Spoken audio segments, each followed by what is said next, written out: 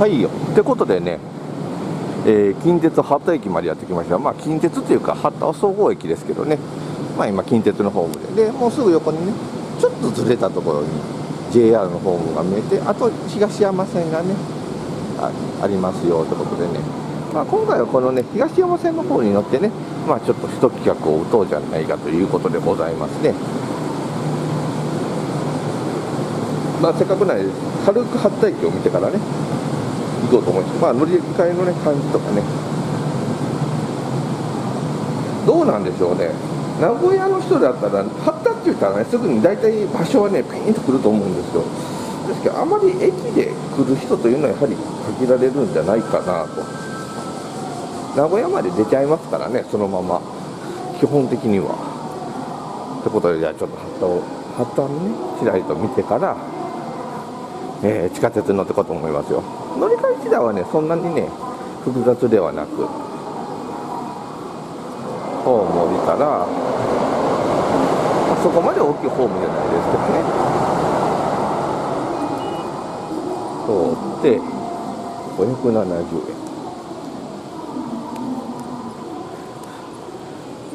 そうするとまあ市バスなんかも走ってますしえー、っと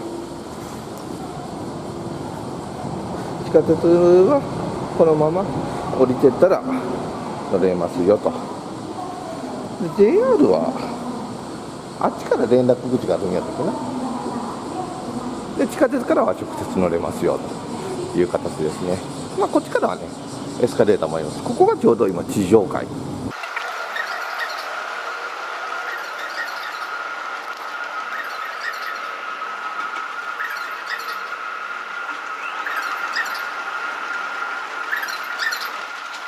降りてきたらこっちになって。